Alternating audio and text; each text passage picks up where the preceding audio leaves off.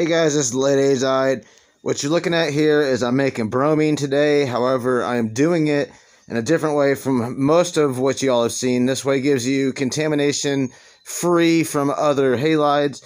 So all I've done here is what you're looking at here is this is my reaction pot.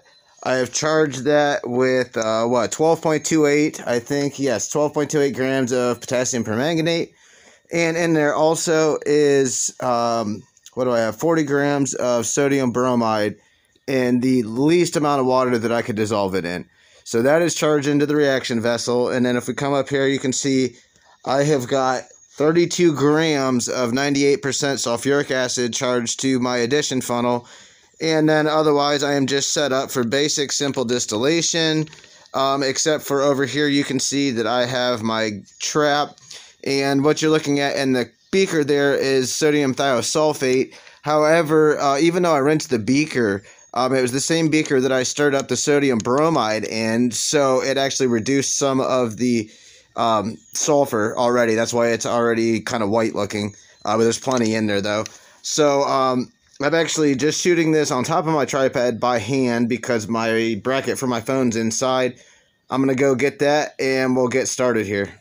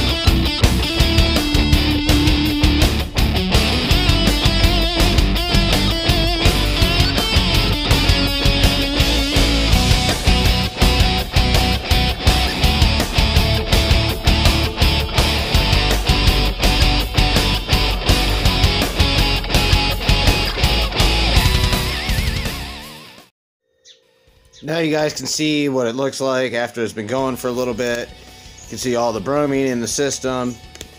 I've got a little bit collected here.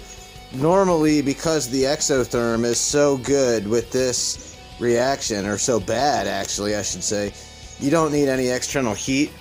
But it is like 30 something degrees Fahrenheit out here right now in my lab, so of course I've got to apply some external heat to it. Nothing can ever be easy.